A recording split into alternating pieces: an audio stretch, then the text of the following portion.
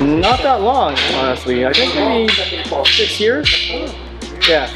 Felix started before me actually. He started at three years old. And I was just a parent sitting on these benches. three and a half weeks, but um, I feel already feel like it's the best place to learn. Like everyone here is like super welcoming. Everyone here is super like helpful with me being the newest one. I just turned 25. My name is Joshua Toledo. Great. It looks, it, it looks great that uh, even though you're not in the Philippines, Filipinos here, even the other races are practicing. I wanted um, kind of a means to help teach them about our culture. Um, because honestly, growing up here from the age of four, I didn't know a lot. You know, I, I did what I could to learn and study, but um, having this group here, you know, helps a lot.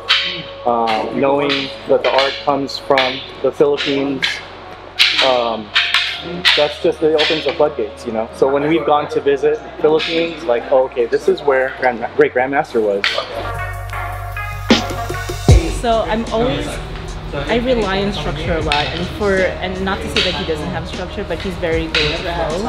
And whenever he sees someone doing like something that he can do better at, he applies it to everyone. So it's something that I can't understand yet, but if he applies it to everyone, then everyone understands. So we're all on the same level.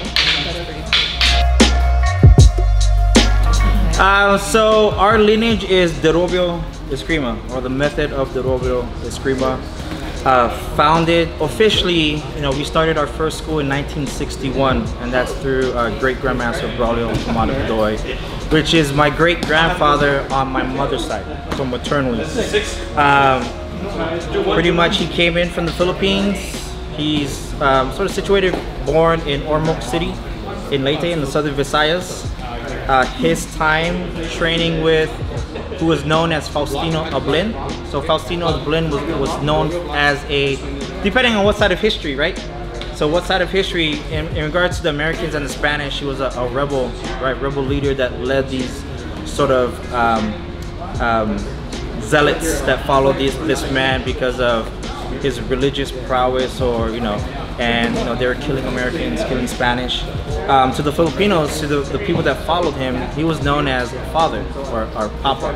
So in the um, and I was actually able to kind of do some history um, when I first took over the school. I was like, no, how deep does our oral history actually go in actual history, right? So a lot of times, you know, you hear about oral history and you hear about these systems where you know they talk about the blind princess or they talk about these mysterious things and how much of that is actually true. Um, i honor all those lineages right? Um, that's that's their that's their truth right? Um, but i was actually able to kind of actually find some facts and in the early 18 or actually late 1800s um, early 1900s there was what they call the dios dios movement and um, General Faustino Ablen, he was known as a general in regards to the Pulahan army. Um, and he was those, the people that he led, the villages that he, in regards to, that he sort of led and, and father in regards to religion, because they saw him as a religious leader. A lot of these guys were called father or papa. So you can actually put in Papa Faustino Ablen and some, some history will, will come up. Uh, so in the early 1900s, he led this movement, and the Americans actually had a bounty on his head. Um, so it, kind of ties into a lot of names in regards to the revolution and stuff like that. But Faustino um, kind of led this group called the Pulahanes to who fought against the the Americans at this time. Um, so that's where our lineage kind of starts. My grandfather um, the, as the story goes, he he left home. He had an abusive home, and at the age of six, you know, who who at six years old is like, this this is not for me. I'm gonna leave home. So he talks about you know having the fortitude or the knowledge to be like at that age be like if I go to the city I'm probably gonna get into trouble. I'm probably gonna die young. But let me go out into the country. Let me go out into the mountains and see where God takes me. So that's the story. He leaves his home. He travels for a few days. At night he would sleep in the trees because they got these big snakes that eat kids and little goats and stuff like that as, as they tell us. So he traveled and he came upon a little fire a little garden a little hut. Um, he fell asleep and when he woke up there was a man an old old man. Um, they say he was probably in his late his, his early hundreds uh, about that time. That's how old he probably was.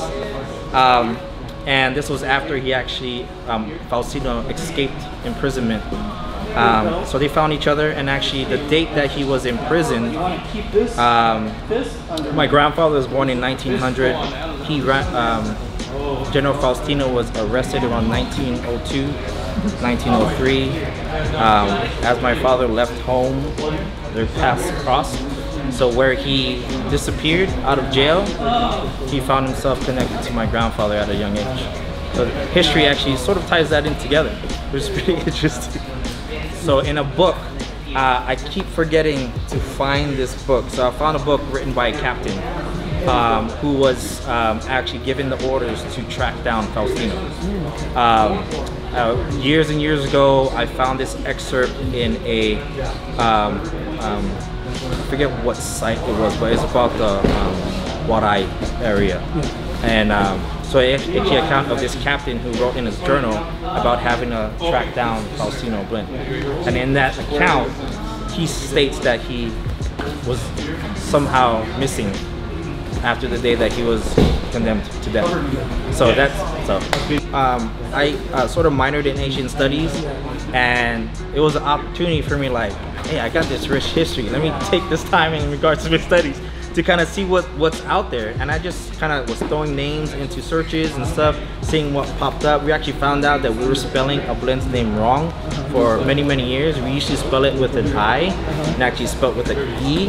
And once I started spelling it correctly all this information started coming up. And I actually started to connect um, and so once the spelling was correct and timelines were kind of connected and I was uh, kind of reaching out to the other instructors like what do you guys think about this this count? Same area? How how different can Faustino Ablen be at this time a moment in history? Um, Medina uh, Carlton Kramer um, so I was reaching out to them, you know, you guys wrote, you know, a lot of stuff, you guys been part of it, you know, and then that's when it started, we started really kind of looking to, all right, there's a lot of stuff that's actually out there. And this was back in like the early 2000s, um, when I was still in college. So, um, so a lot of stuff started coming out and I was like, damn, this is, this is pretty cool, you know, that, you know, what we've been told at a young age, oh, this is grandpa's stories, this is grandpa's life. And it's like, oh crap, there's some actual historical, because I have, actually have that, have some um, court documents that you know, has his name, this is when he was arrested, this is the docket and all this kind of stuff. So there's that factual stuff that's in there. But no, I hold on to the oral history that, that was told to me. And you know, it's it's been an awesome journey kind of see where we came from and the, the lives that it influenced. Um, and kind of keeping me connected, right? I never thought in a young age, I was like, I dreaded training, right? Because um, majority of my, we train very young. Like I said, um, we actually lived next door to Great Grandmaster um, Braulio um, when I was very young in Hawaii. Um, so it's called Waiawa in Hawaii, small little town. Uh, you can actually walk right past it, not know you know it was there. Uh, right next to Leeward College uh, on the uh, uh, Leeward side of, um, I mean Leeward College, right on the um, the west side of Hawaii. You know, you got Pearl City, you got all these, you know, Waipahu, yeah, on Oahu. You know, uh, you know, a lot of Filipinos in that area, and you know, we kind of uh, congregated in this little, little, I guess you would call it a town in Waiawa, um, and that's my my first sort of, um, I would say, home. Right, um, my gr my grandparents, um, Braulio Toma Pedoy and Bartolomeo Pedoy, they lived in a little Quonset hut, right? And so Quonset, we were connected right next to them there. So they babysitted us. We, we just grew up. Below our Quonset hut was his uh, fighting chickens. His pride and joy. He loved doing that his whole life. Um, and then my mom's mom, um, Julie, they lived right on the top of that little uh, cul-de-sac, and they were there. So our whole lives, the best best memories of me growing up was in that section where we would see all these Filipino guys come around. So I was, I was born in Hawaii. Um, at that time, um, I was born in 78, so early early 80s, maybe until about 81, 82, 83, around there. Um, but my grandparents lived there very long, so we were always going back and forth. Um, you know, Ron Anglin posts a lot of pictures where he talks about the Quonset hut and the, the deck that they Yeah. built for him and stuff like that. So that's the area where they trained. Um, everyone knew. A lot of, you know, he asked, we, went, we met with uh, Daniel Santos uh, a few years back and, you know, he kind of reminisced of the times that he, he would go, you know, first thing they would come to Hawaii was, let's go see, you know, Pedoy. Um, Richard Bustillo says the same thing. A lot of connections. Um, these are guys that I saw as a kid growing up. Like, oh, I just see them playing in the backyard with, with, with Grandpa, you know. And it was like what we did today with the little kids. You know, they would have us just, all right, let's go, move us around, give us action, see what we're doing, follow, play. Uh, a lot of that going up with him. Um, so our introduction was just how we lived. Everything was a lesson with him. I tell this all the time. Uh, so we live right next door. So my parents would go to work. We're like, all right, go go next door to grandpa's house. Um, and my grandpa would play this game. So as soon as we come up on the porch, he would have his hand behind his back. So one hand would have a knife, the other hand would have like a banana or candy or fruit. And he would tell us, all right, before you come in, you gotta pick. All right, you gotta pick. You either gonna get the knife, you're gonna get poked, or you're gonna get candy. So we'd have to pick. If that knife came, we would have to lock and try to get inside of grandma. If you get the candy, get the candy, get the eat, get a hug.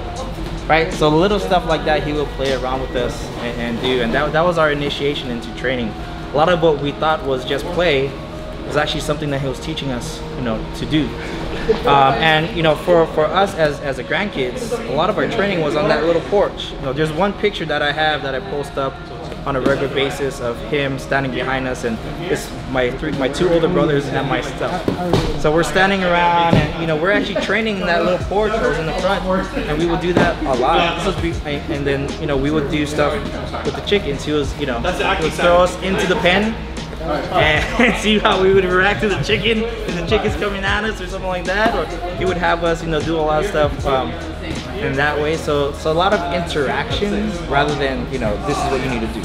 It was just action just play and we say love. It's all about how we love this so I, I really teach a, a, a blend of both. So I honor my grandfather in a certain way, I honor my uncle in a certain way, I honor my dad in a certain way. We have a Kajukenbo background as well. We honor our Grandmaster, Grandmaster Julian Blue Generalao in a certain way, and I built my foundation in a certain way. So when we go back to Hawaii, a lot, a lot of the guys who know, we're like, oh, that's Batikan. Oh, that's, that's Grandmaster. In the way my students move, in the way that I move. So the way I teach it is, um, uh, Batikan, we call Batikan, uh, Batikan Eddie. His his movement was I call Big Manny Screamer, right? So Big Manny Screamer. Um, so and my grandfather was was the fluidity, was was the flow and connection and and and, and movement. So the way I teach in regards to um, the foundation is Batikan Eddie gets us into the fight. Grandmaster finishes the fight. So I use my students' position and power to get into position, to get into range, the way uh, Batikan Eddie would. And then once we can connect and exchange, his great grandmaster's movement that allows us to finish and control and either you know, end the fight, you know, and do that. So, um, so in the movement, generally our offense is um, sort of going forward, right? And generally our defense is going back. My grandfather mainly taught defense as you know, going back and using that movement. It was Batikan that actually said, let's work the forward triangle into position and work ourselves into position. If I'm bigger and stronger, I can move position, I can cover line, and I can work that position. When I get into position, then I can move to a finish and, and move. So that's sort of that mindset. Um, and so um, the forward triangle mindset in regards to pushing forward, power forward, and using my power and position was Batikan. Grandmaster was all about receiving, right? Receiving and redirecting and using angle and, and leverage to play position. So I think I've been able to kind of marry that two together seamlessly in regards to and, honoring you know those those sort of mindsets, right? Batikan at his later age really wanted to put a stamp on who he was in regards to his his sort of addition or um, um, you know um, connection to the system and you know we all knew what Grandmaster brought to the system. Um, so I think we, we I do a, a, good blend of that, and you know a lot of our because his background is actually Kempo, Batikan. He actually um, he didn't want to play the stick game, right? Um, back in those days, I believe maybe it was, was maybe the in his young maybe the late early 60s around there. Um, kind of seeing you know Kajukenbo Kempo was big, judo was huge, right? Um, all these the stick stuff and knife stuff that all the Manongs used to play, uh, that's that's that's whatever they play. I, I don't do that. This is cool, right? So when you say you know, Batikan was all about hands, because his background was was Kempo. He was definitely taller than when when on his prime. He was huge. He was actually a power lifter. My grandma was like this big, uh, maybe 4'11", around there, five foot. And my, my grandpa not that much bigger. Well, I don't, I don't know perspective now, but Uncle Eddie looked, I always seemed like I looked up to him, even when I was in high school, because he actually lived with us for a few years. After a great grandmaster passed away, um, he told us, no, come up to San Diego, stay with us. Um, and that's when he actually gave us the, uh, the um, sort of the blessing, open up a school. This is when we first moved to San Diego, 91. Um, came up, I believe, around uh, 94. It was about time when I was like a junior high, I was graduating. Um, so it's like, come live with us. And he was like, let's, we need to start moving the school forward. Um, so he reached out to us, let's get things back rolling. Let's get the family back into play. Um, and, and, we did, you know, we, we kind of set a lot of things in motion in that time. That's when we had our first sort of um, sort of family gathering of all instructors at that moment. We were still under one head, one branch, um, one tree, I mean and uh, you know really started to get things together. And it was because of Batikan Eddie was like, you know, whatever history that we had in the past, and it's a, it's a pretty deep history, like we talked about earlier. But it was like we need to get everybody together. You know, Great Grandmaster's vision, you know, being pretty much one of the first instructors to teach openly to non-Filipinos in 1961, you know, in Hawaii. And, um, you know, we need to be the forefront of kind of pushing the art forward. So, and, and today I take pride in that, you know, and we go back, because we were called the Haole School, and those you know, Haole just means foreigner. Um, some people may take it as a negative connotation, but know, for the most part, we're the first ones. Oh, look at these. My grand my grandfather would say all the time, you know, why do you teach why do you teach these Haoles? They, you know, they ask him, why do you teach these you know, non-Filipinos? Why would you want to share the secrets of you know your your heritage and your traditions? Like, I don't see them as Haole. I make them Filipino. I make them move Filipino. I make them eat like Filipino. They're Filipino to me. They love me as if they're Filipino. So he, he gave a lot to these guys and I still call them uncle. I still have a heart of endearment to them. They stuck with the system for over 70 years. You know what I'm saying? Where, you know, there's a lot of stuff here and there like other systems, but they, they, they gave everything to to my grandfather, my grandmother, and I, I love them for what the time that they put in for that. So it, it was pretty much frowned upon in the early days. The Haoles were actually put to the test right? Um, they we trained openly at the park, and they would at, in those early days they would regularly have challenges, right? People coming back, or just you know local guys coming up. What are you guys doing? Like Hollywood, you want to fight? Let's go fight right now. And it was a lot of that. It was a lot having to prove that they belonged, right? And they belong. You know, they, they, they put the time in. You know, Colton Kramer, Peter Small, um, Knut Peacock, you know, Ron England came about at that time as well. Dan Medina is part of that in regards to the instructors that are still alive and still teaching. Um, Leslie Largo, one of the original students that came in, um, you know, still active. Um, Gary Largo just recently passed away, but these, these are you know core group that you know they, they stayed with the system. I mean, there's a lot of people that have come and gone, a lot of instructors that came in and kind of went their own way, but know those are guys that kind of kept kept that Pedoy patch on as, as many years as they could. Some of them kind of stayed away for a little bit, and then when they saw the opportunity to come back and you know and kind of mend ways and, and, and heal hearts, you know, they came back at the time that was needed. Um, right now, there's no um, official Pedoy School of Eskrima. Um, there's, a, there's a lot of history there, but you know, it's still a family system. Whatever name that I have on the wall is just a name, right? Um, Derobio is what we do. Derobio is, is my grandfather's system, my grandfather's life. No, Derobio legacy is something is, is just something that I wanted to give to all of my compadres, right? You know, Dan Medina out on the East Coast, Ron England who recently moved up north, um, the guys back home in Hawaii that still hold the name in regards to Derobio. They may have a different brand, you know, but the Derobio is still there. They still honor my grandfather. They still work and live through and teach through his name. Um, and we don't need to be under the same sort of moniker, right? But we still honor my grandfather and we still do the best that we can to keep keep the art going. I, have come across a lot of incidences where it could have gone bad, but what I take is um, the creed, right? So humbleness or the humility of knowing that you have a certain skill set to do something that could be bad, right? But the art, the many years that I've trained, I've trained from when I used to have a, a bottle in one hand and a stick in another hand, right? So in, in my diapers. My dad jokes about that all the time, but um, the biggest thing wasn't the physical, right? It was a lot of it has been in regards to the mindset.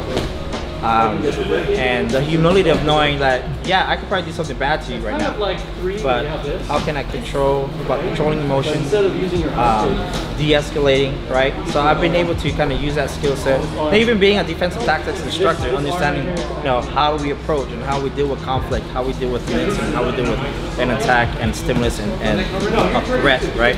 Uh, a lot of it has to do how do I communicate how do I posture myself, right? Because someone who is confident in their actions and what they can do, they don't walk around with their chest tucked in, shoulders forward, and you know, skittish. You know, we have a, you know, we have a certain sort of persona or aura about us in regards. Maybe I shouldn't fool around with a, with a little Filipino guy that's standing in front of two six foot two, you know, white dudes. Why is he in the front of these guys? Dealing with the situation. Maybe I shouldn't mess with that guy, sort of thing. So a lot of it is confidence in my movement, confidence how I can react, confidence in my skill set to do a certain thing, but not needing to use it, right? My grandfather, my dad used to reiterate that time all the time is retrain so much to maybe use it once, right? Or maybe not use it at all, right? Um, Derobio, my grandfather put a lot of his religious background and beliefs into the system. Um, a lot of how and why we do certain things is to preserve life, right? It's all about preserving it. So the way we talk about, we talk about opening the gates. So the body has 12 gates, and that's our joints, right? So wrist, elbow, shoulder, hip, knee, ankle. So we open up the gates, we open up the mind. We tell the person, if you continue, I'm not just gonna break this, I'm not just gonna damage this, I can open you up here. Kind of open this up and say, realize you know, what's happening to you right now. If not, if I need to go to your inner gates and do damage and finish and go what we call the 11th hour, I can do, but I want to do as much as I can possibly to allow you to live and give you the opportunity to be like, yeah, I want my life, I like my life. Maybe I should not do what I'm doing, right? Yeah. So um, a lot of that came from how he was taught through Faustino Ablen. Faustino, they, they um, kind of going back to when I first started talking, they saw him as a Messianic leader or someone that, you know, at that time kind of as like God, God-like, right? So someone who they kind of revered as, you know, connected to God and he has that, that power to sort of save life and, and prevent death. Um, so what they would do in those days, um, kind of connected like um, they would make, make anting anting, right? So little amulets and stuff like that. So the Pulahanes would actually have these coins, and and Papa Faustino would pray on these these coins. So a lot of tied into like um, Catholicism and a lot of different beliefs in regards to you know power and anting anting. So they would literally, I'll pray on these coins, put the coins on their eyes. These strips of cloth they would write scripture in, and they would tie it across their eyes and go into battle blindfolded, being like, I'm I'm guided by by God through this power that was anointed by this man. And I'm gonna either I'm gonna do what I need to do, but if I die, I die. I, I, you know, I ascend, kind of thing. Uh, so a lot of that was tied into his training at a young age, and then he kind of grew into that as he went to Hawaii he got uh, affiliated with, and he was a deacon and a priest with the Moncado Church. Um, and Moncado Church um, was led by a man named Moncado, and it's sort of uh, it's a small little group now, but that time in the early 20s, a lot of the Filipinos kind of kind of congregated to that, that religion, and he was he was part of the Moncado Church until you know um, until he passed away, um, and some of the uh, uh, the Haoles, uh, our instructors back home, they're connected to that church and part of that church still. So uh, a lot of Catholicism is built into that religion and the belief of life and, and resurrection and power of that. God only has that power to resurrect life. So where is it in us to, to take it upon us to take life, right? We don't, we should not take that upon us. Um, so that's that's sort of how he kind of built the way we do what we do it's just it's just the passion that I have. And it's something that maybe in my 20s, I didn't think I would be here in this moment. Back then, it was like, crap, I gotta go work out again? Crap, my dojo is my garage. I can't hide from that, right? And it, it, felt like it was so forced, and it was supposed to be my older brother. My older brother was supposed to be in this position, and I get kind of caught up when I talk about it, but he actually took a, a, greater calling, right? He's actually a pastor and he's leading men in a certain way of life, right? So he's a pastor, he's a missionary out in Okinawa, and he took that mantle. I was like, dude, you're supposed to do this. Like, you're supposed to take over. I'm supposed to do my own thing. Um, but, you know, once I came back and was like, maybe this is something that needs to be done. Um, and right now, I'm the only family member that's actively teaching, right? Um, and that's something that I put a big, big burden on my shoulders because it should be someone from our family that continues to do this. Because it was always put, this is the family tree. My brother was supposed to take over, it was my uncle, it was my, my cousin, and I wasn't on that tree. I wasn't support, and, and when I look at it, I was like, no, things happen for a reason. Maybe, um, maybe early 2000s, it was like, when my dad was like, I need somebody. Like I need somebody. You know, I'm ready to kind of pass it on. And he was like, "It's yours. This is this is you." You know. And I was like, "All right, let's see what happens." And then slowly but surely, I was like, "This is this is me. This is a part of me now." And um, I tell my wife all the time, if I have one student, and it, it was it was moments in time where that one student was the only one showing up, right? And you've probably been there as well. That one student, says, hey, no, I'm still here. You still got a student but we got one more coming back. And it was the ebb and flow, right? Now I'm blessed to have, you know, the kids that you've seen, the families that have been apart. I'm blessed to be like, no, I have students, you know, that are now getting married and having their own kids. Throw my grandpa's name out all the time, but like, I'm this of this, right? And I'm like, my face is on the forefront of anything right now. It's like, this, this is why. This, this is it. Okay, go to one. That, that kid right there, my son, that, that's the reason why, right? Um, my daughter, have little snippets of her in there. That's the reason why, right? They need to know why we do, why I do what I do because you know it there's a strong strain in regards to my jobs strong strain in regards to my marriage. I've been married with my wife for almost you know married for 16 going on 17 together for almost 21 years. There's a lot of strain there because she didn't understand as well. Yes. it's like what is that? That's just playing around. Why how is why is that a focus? Why did you create your work life around this? That you're not getting any money there. That's that's that's not a career. And that was her view for many many years And now she's the one dragging these kids here. You guys gotta make sure you guys go to class. You gotta be part. And she actually became a student, you know? And I want to get it back in, but you know, having kids and all that. but you know, she knows now. We we have pretty deep conversations of I am nothing without this. If this is this is part of my persona, this is part of my psyche, this is part of my being. If I don't have this, I don't know how depressed I can be. In 2008, I was forced to make a decision, right? Um, I had recently taken over taken over my, my school uh, from my dad in 2000. Eight years going, pretty strong. Um, and then a family member comes in and is like, you gotta cease and desist. You can't use my name, you can't use grandpa's name, you can't use grandpa's photos, you can't do this, you can't do that, you can't do that. I kind of understand where he was coming from. Uh, it was, it hurts, but you know, it, it, it's, it was family, right? Family. And you know, we've talked about it. Um, I, I've mended ways. We actually, there was a part where I wasn't talking to him for about five, six, seven years. Um, so Grandmaster Tyrone Takahashi. So I love him. We've, we've come, um, if this goes out, I love my uncle. This is what happened. This is truth. And we all moved out from this, right? Um, the instructors in Hawaii, you know, Ron England, Dan Medina, myself. Um, we, it happened right? History happens. Um, it hurt because it came from my uncle, my godfather. There you go. My mom's youngest brother, right? So now we we've talked about it. We cleared past. We have we don't talk about Eskrima together anymore. So this this history has passed. We have mended ways. But you know, there's a good time between 2008 2009 when I had needed to make a decision and move away. So when that was forced upon me, and then other schools went a certain way as well you know, he made decisions that he, he most likely regrets, right? Yeah, it, it, caused the breakdown of the family in regards to the Pedoy School of Eskrima, right? Instructors had to go their own way. Um, but it, it actually grew the school, right? They, they, they was like, all right, if I can't have this, let's see what I can do with what I got. Let's see what I can create. Ron created one, right?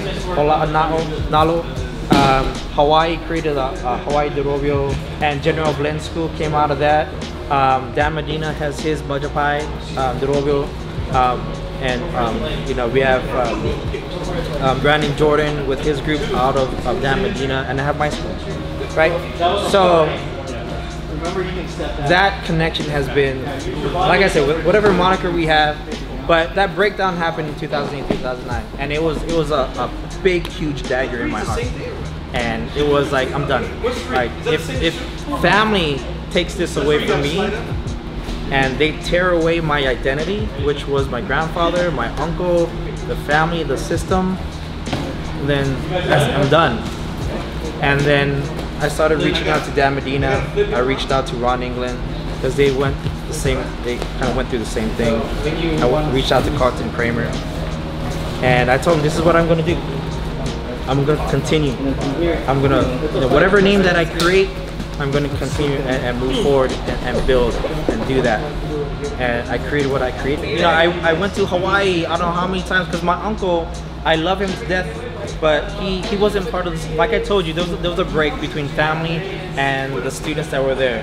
Attention was given somewhere else, and family thought like they were kind of backs turned to them. So we're like, all right, grandpa, we love you, go do go do that we'll move on um, and then you know he came back he saw what we were doing in san diego we took a group to maui in 2004 we hosted a stick fighting tournament with uh, Ted Shion Ted Tabora and Sifu Willie K, uh, Festival of Kings.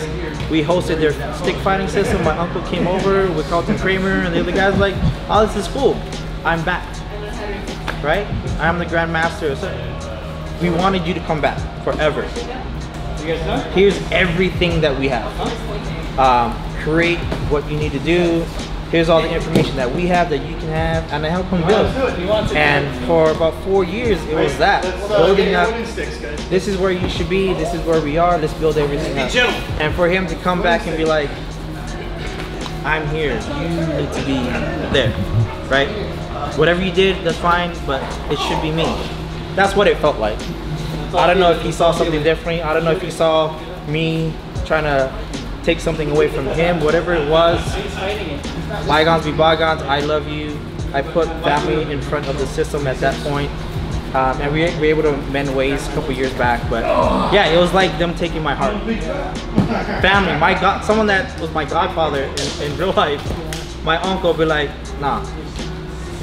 It wasn't even a conversation, bro. It was here's a letter in the mail, a letter in the mail, cease and desist. So, you know that's out there, but it happened. Um, I can honestly say I love my uncle to death. We're we're back in good terms. Um, but that's what happens. A lot of systems go through that. You know that. A lot of systems go through that conflict, and it either will break it, or it created what it did with one General Blinn School, Dan Medina School, Rajapai, uh, Mandala Mandarigma with Brandon Jordan, Hawaii Derobio Academy, and you know, so we're still here, right? And you know, I've been able to use the um, sort of the foundation of Derobio and create my system, right? Um, things that I go back to Hawaii and my mentors, my uncles, they're like flabbergasted, like I see Derobio, but it's such something so much more. When my dad comes down and and he sees what I what I've been able to do with my kids. And then, and then Jordan. I, I've, he's, he's always said I've, I've taught him as much as I can, and he's just taking it to the next level. And for him to say, "No, I'm proud of you. I love you. You did what I couldn't do," means a lot. All these years that I failed, all these years that I, I, I put aside other things to kind of hold whatever thread that I had in regards to this system mattered, right? So I don't call it a burden anymore. I just call it that's me. That's who I am. And um, still to today, you know, I, I mold my, my, my family life and work life around this, right? And I've finally been able to come to a balance. And I've created so many. I've I don't say created. I've built my family outward, right? So I mean, these kids have been training together since they were seven, six, right? Um, five. Selena's getting married now. She's like, she called me uh, yesterday. Like, hey, can you walk my mom down the aisle in the processional? I was like, most definitely, right? And uh, so, you know, this is family that you choose. I talk about it all that time. Know, family that you choose and that choose you. And that's sometimes those bonds are stronger than blood. So yeah, so he's getting a little bit bigger. So he, this is my, this is my Padawan, right? This is my protege. I'm 13 and I like it a lot because he knows that he can go hard on me and that makes helps me learn. And What? I know it's not like being mean. Um, because he's my dad and I have family here, like you were saying earlier, and friends, family, and it's fun to me to learn to learn the history too. It's actually um, really fun. The history is amazing. So That, that's your history. That's your family, right? That's your grandpa on that wall. Your, that's, that's your uh, no, grandpa on the wall that's over there. So plant as much seeds as I can go and, and grow. Um, definitely kind of teaching, like he talks about going hard on him now, right? Um, I definitely was was taught a certain way, being one of my dad's you know, number one ukes growing up, right? Um, he never let up. He probably did more, right? Because I was his son, uh, my father, and you know I kind of relayed that back, right? And I tell him it's, it's about love, right? You need to learn, you need to feel, and I do that with I. I see all my students as my kids. So you see them like running up and giving me a hug, um, and you know it's it's that that that communication through touch. Um, this is all about love, right? Doing those things and understanding that you know what we do here is about life, love, safety, passing on history and knowledge, tradition, and you know just the connection from here to there, right? Um, so yeah. So Ron and his his boys, you know, they're they're connected. They're together all the time, and I, I throw in stuff here and there when we're out, right? You know, uh, what they can see, how they can perceive things, how they work things out. Um, you know, a band of brothers, right? Band of brothers kind of thing. Uh, but definitely, it's it's it's will always be part of us. Will always be our life. I tell guys all the time. I have guys who had trained with me off and on for 20 years. You know, they go, they're on military deployment, and the first thing they do when they come back to San Diego, off the plane, literally, Chief, I'm back. When's class? Right? Or I got guys who literally drive from Arizona every weekend to come and train because, Chief, I want to be with you. I can do other things, but I want to be with you. Um, and those are the connections that really mean a lot to me. Or guys that are all the way in Florida that call me on a daily basis is like, hey Chief, first thing I do when I land, how many days can you give me to train, right? Um, I'm coming just to see you kind of thing.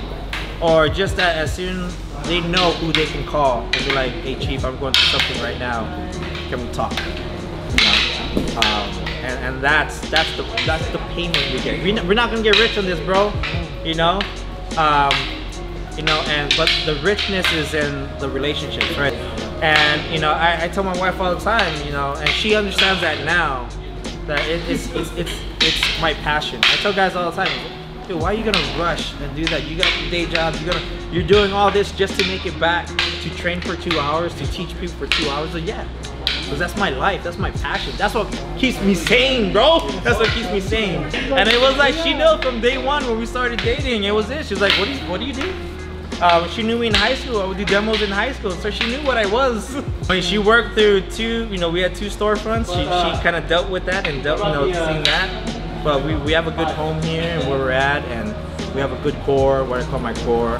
And you know, from time to time we'll have people come and go, but oh yeah.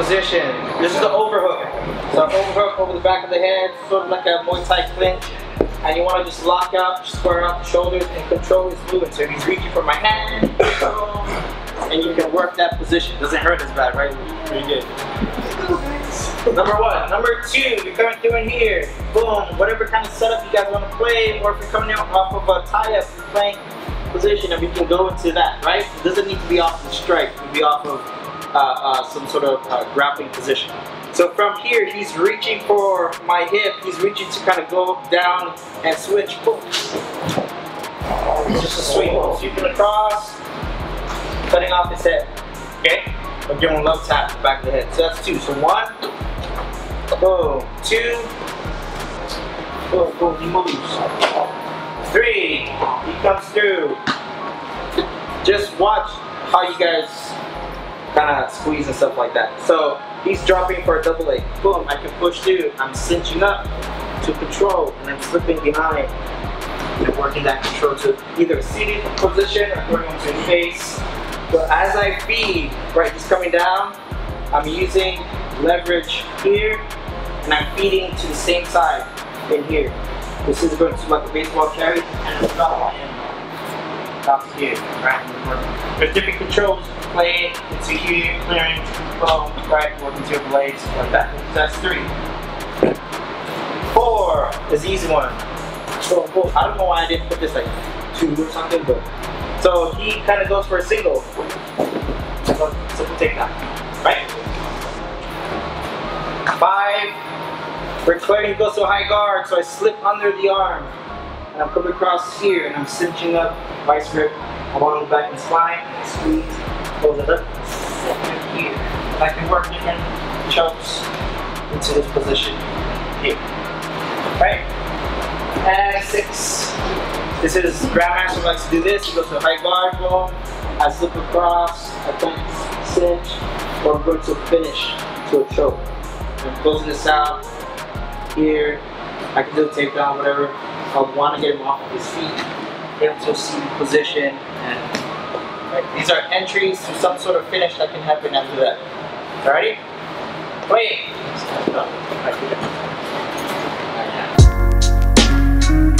I grew up there. I, I, I, you know, my parents came over here when I was four, uh, and then grew up here in San Diego. And um, like growing up, I had like a just a kung fu background. Uh, and I, when I had kids, I, you know, thought, you know, let's teach them a little bit about, you know, Philippines and their heritage and, you know, the kind of stuff that we did there, and uh, or my ancestors. And you know, I found Chaz. Uh, I brought him into the class. I have four boys actually that are all in the class, and he's in an adult class now with us. Um, and I brought him to class, and he started it all for our family. So I mean, uh, I don't even have my white belt yet, so I'm pretty brand new. But this class is pretty like going with the flow. Like whatever drill works best with the entire skill level of the class. Um, whatever chief figures out like is best, like that's what we like. Even though it's advanced for me, it's, it's nothing new for the other guys. That's it's pretty cool. Well, I like being here to learn how to defend myself. Uh, I've been coming for five years, and I keep coming back to this class. So you learn a lot. Um, it's very technical, but once you get your feet um, like moving, it just feels good to get it. It's family now. It's family now. You know, Chaz, the Siangco family, um, all our kids,